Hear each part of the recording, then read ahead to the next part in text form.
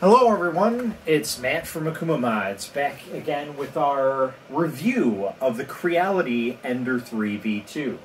So, just to start off, as many of you may or may not know, me and Creality's history with uh, specifically the Ender 3 line uh, has been disastrous, to say the least.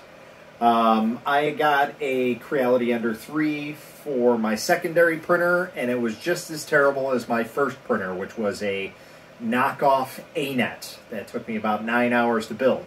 Now, uh, obviously, this one was really easy to build, but um, it was just a disaster. Couldn't get it to level, couldn't get it to print, or when it did print, it would print one print, and then the next print, it would be like shifting layers it would be all kinds of weird stuff. And it happened with several units I had. So uh, usually I would just end up buying used printers that were destroyed, making sure that they print and flipping them um, when it came down to it. I, I usually didn't have these printers in my hand. As you guys may or may not know as well, I'm more of a Geeetech A10 fan. But we'll leave that for something completely different. Right now we're going to be talking about the Creality Ender 3 V2. So, what's so special about the Ender 3 V2? Well, it does have a 32 bit board. To be in all honesty, it's not something that is super impressive unless you're flashing custom firmware. Then you can add a bunch of different stuff. But in its stock form, it's really no different than a regular Ender 3 or an Ender 3 Pro.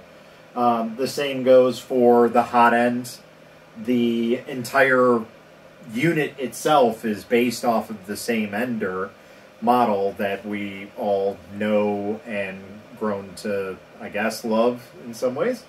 Um, same with the motors, same with the extruder, same with the belts. Pretty much everything is exactly the same. The only thing that they really changed, excuse me, on this model from the regular model is they added a fancy screen. Um, whether or not it is a better upgrade, eh, that's that's more or less like a visualization thing. Otherwise, it, it's it's had some issues, and I'll, I'll, go over the issues in a little bit here. Um, the other added things that they have are um, the belt adjustment uh, pieces or knobs, whatever you want to call it. Um, those are nice additions on any printer, so I absolutely love that they did that. Um, they redid the fan shroud. That's all they really did to the, the hot end portion. Uh, but the fans and the hot end are exactly the same as an Ender 3 and an Ender 3 Pro. Uh, I would probably put money on it that you can take a fan shroud to cover um, off of an Ender 3 V2 and probably be able to put it on your Ender 3. Um, you might have to swap out the actual carriage part because the holes are a little different, but for the most part, you can it, you can make an Ender 3 into an Ender 3 V2. So, um, and that's really all that has been upgraded on this. Uh, you know, I guess you could say they added a little drawer to it, and they moved the power supply down to the bottom. That's about one of the few pluses. So, in my opinion, eh, on this machine, there's there's two, maybe three pluses on here. Um, one of the pluses moving the power supply to the bottom of the machine.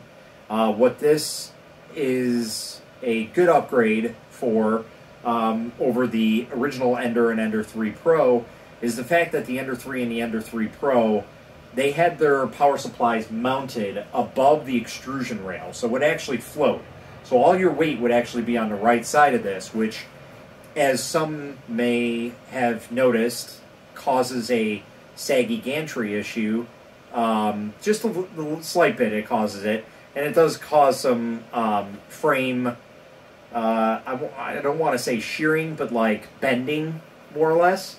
Um, it's very minute, but it does happen over time uh, especially if you're not, um, you know, taking care of your machine and you know going through basic maintenance every six to seven months, depending on your usage. Um, but that's usually what you should be doing, regardless of how often you're using it. Anyway, just to give a quick once over and make sure all the nuts and bolts are tight, more or less bolts, and whatnot.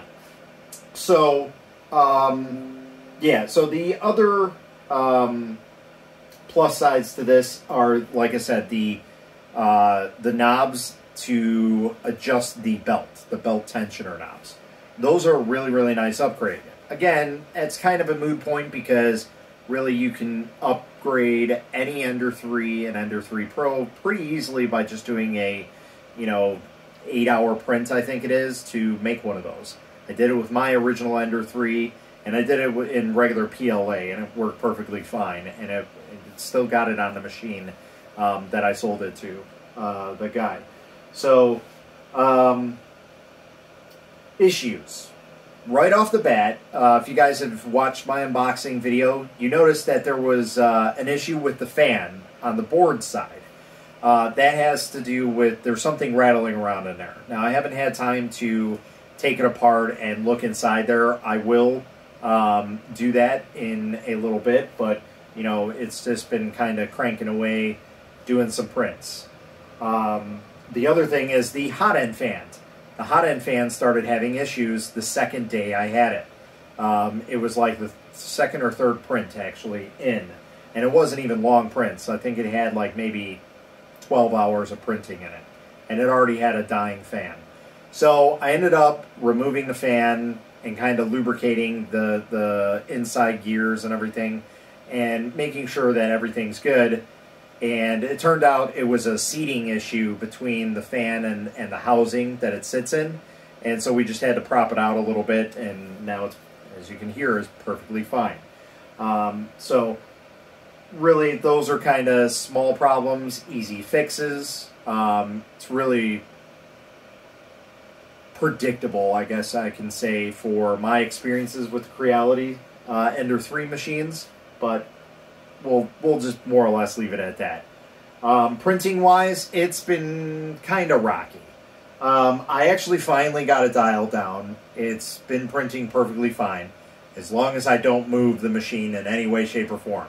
As soon as I move the machine, it just goes all out of whack. So something is um, problematic with the entire uh, leveling of the system being um, squared so it's probably something that I did. I'm pretty sure of it because if you watch my unboxing video, it was just a travesty of me putting this thing together because I'm not used to putting these machines together. I'm, I'm used to, like I said, the Geeetech A10, which has this entire upper gantry and the gantry, or I'm sorry, the upper, the uprights and the gantry bar all as one. You don't put it together. It's just, it's like six bolts and that's it.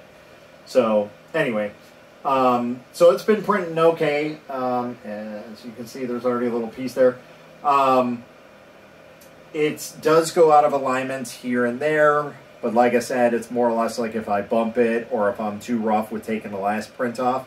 So it is very, very touchy. Um, again, it's typical Creality fashion, at least for me. So I have a big problem uh, with that. Um, the glass bed is really, really nice. It it is a different texture than what they've been using on their, uh, I guess, kind of like perforated glass bed, you want to call it, or textured glass bed, however you want to, you know, talk about it. Uh, it does have a little rougher feel, so it kind of has a little more grippy to it. Uh, I've noticed because the last ender I had with a with their stock glass bed was just a disaster. Nothing would really stick to it. It was warped. It, it's terrible. Uh, so I had to use um, some hairspray with it. This thing, I've not had to use hairspray with it. It's been printing away perfectly fine, so uh, I have no issues with it. So, um, really, that's not too much. Oh, I forgot one thing, one kind of funny thing. So, um, obviously, I went to go and put my own prints on here to see what we can um, we can churn out on this thing, and. Uh, I go to remove the SD card and I put it in my computer and it dies. It literally wiped the entire SD card as soon as I put it in my computer. And I was like, oh, maybe it's something wrong with my computer. Maybe it's something wrong with my uh, um, SD card um, adapter, which I use a SanDisk one. I use a pretty high quality one. Um, but nope, it ended up erasing the whole thing, and I have no idea what happened to it. I I was able to see the folder with all the videos and all the instructions and everything. Looked like it had a lot of information on there, but uh, like I said, as soon as I like clicked it, it just it died. Uh, so that was really really weird. Um, and I couldn't use the SD card anymore. It was it was toast after that. Nothing would stay on it. So I ended up tossing it out and putting in a, uh, a little better quality SD card. Um, one of my SanDisks is in there, as you guys can tell. I I use SanDisk pretty uh, pretty religiously on my machines, uh, just because they work. So, um, let's see. Overall thoughts on the printer. Um, is it a better buy over a Ender 3 or even an Ender 3 Pro? I truly don't think so all the parts that are on here, nine times out of ten, people end up upgrading their Ender 3 or Ender 3 Pro to this type of model with even better stuff that this printer has. Uh, and you, you'll still come either close to the same price uh, in total, or you'll come in cheaper, depending on where you're going. I mean, you can go insane and put like a BigTreeTech board with a 5 inch touchscreen and, and Astroprint and all kinds of crazy stuff in there. Um, but yeah, I mean, for the most part, I really don't think it's worth it. Um, I know you guys can argue till I'm blue in the face about the 32 bit board and how it's so much better, but really, I don't think it's much better than the Creality version 1.1.5, which is an 8 bit board. And uh, they, they both are silent boards.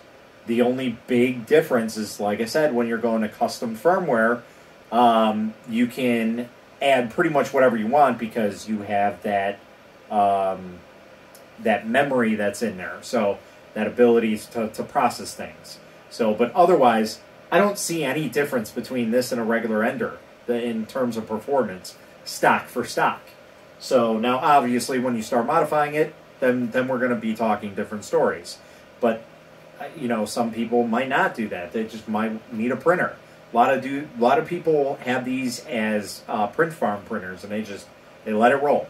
So um, really, the upgrades are minute to say the say the least. Um, you know, the, the the screen is really really nice looking, but again, uh, it was a little bit buggy. Nothing major. it's just typical bugginess that you see with really any screen. So I didn't really chalk it up as an issue.